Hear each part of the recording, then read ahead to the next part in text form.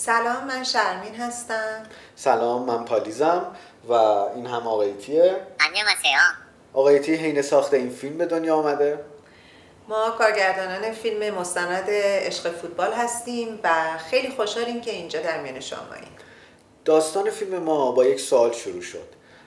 و اون سال دقیقا این بود. ما چه آرزوهایی داریم که قبل از مرگ دوست داریم بهشون برسیم؟ این سوالی بود که زندگی کرکتر فیلم ما رو متحول می‌کنه. زهرا آدم خوششانسی بود که هنوز زنده بود و می‌تونست برای رسیدن به آرزوهاش تلاش کنه. برای رسیدن به برابری و جهانی بهتر.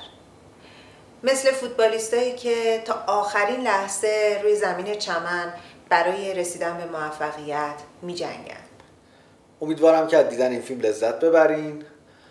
همونطور که من و شرمین از ساختنش لذت بردیم و برای همه شما آرزوی صلح و شادی همیشگی داریم پیس 당신의 축제에 참석하게 되어 매우 기쁩니다.